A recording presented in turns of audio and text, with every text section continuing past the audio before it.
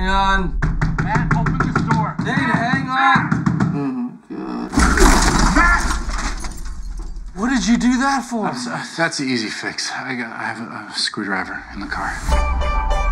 I thought about doing stand-up comedy. You tell jokes? It's pretty scary to come up here. I have a friend who's been wanting to try stand up, but he's a little chicken. Dave is my best friend. Go, Dave! I'm so scared right now. Ah! Most of the time, I felt like they were married, and I was mm-hmm. just a bystander.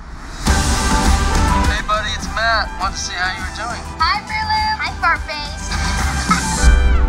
Mom. Hi, girls. Hi, Fruit Loop. Hey, how you feeling? Tired. Thanks for being here. I will miss it. Can we talk for a minute, Matt? It's going to get very hard. You're going to see things from Nicole never seen before.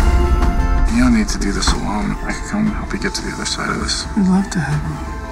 How long do you think you'll be up there? I'm hoping just a couple weeks. Just want to make sure Matt gets back on his feet. I usually make breakfast and dinner. Maybe you can take some of that weight off. Speaking of, I was hoping you'd call me Grandma Dane. Sure. Molly, excuse me. Sure, I'll call you Grandma Dane. Thank you. I want to make a list. I'd like to write letters to the girls for certain milestones in their lives.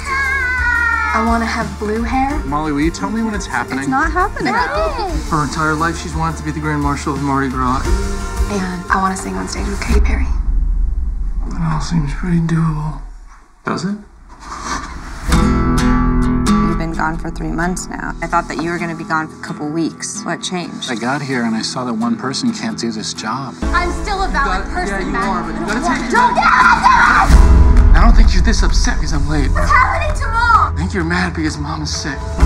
Why are you so hard on your dad? Oh, Molly, you've broken my body. I saw you smile. People don't look at me when they talk to me anymore. You're the most beautiful woman I've ever seen. You always will be.